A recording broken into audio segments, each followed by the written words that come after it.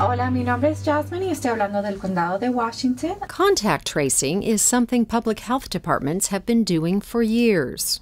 I think I like to start to explain this a, a lot like um, what firefighters do. So, firefighters have tools that they use to put out fires. And contact tracers have tools to control the spread of disease, including coronavirus. Their first tool is the case interview. Testing labs in Oregon are required to enter names of people who've tested positive into a state database.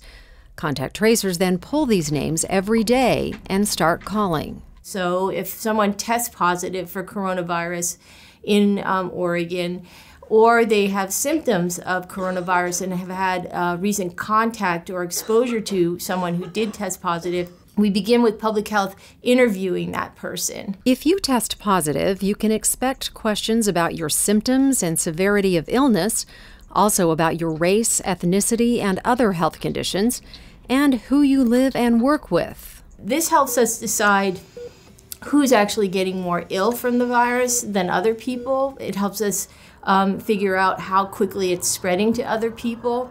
Um, so that data collection is a really important tool that we use in public health to help put out this fire with coronavirus. The second tool is contact notification. You'll be asked to provide names and numbers of people you've had close contact with over the last few days.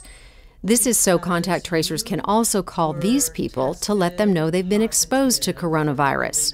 Contact tracers will then ask you and your close contacts to stay home for 14 days. Let's say I'm not sick.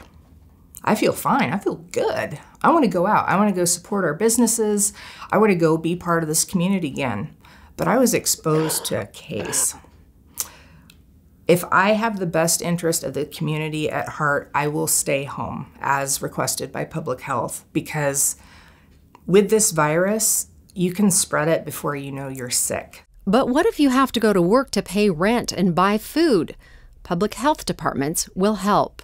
We will find the resources and the support to make sure that everyone has basic needs met food, shelter, so that they can voluntarily protect themselves and protect the rest of the community through isolation and quarantine. Contact tracers work for public health departments, not for the federal government.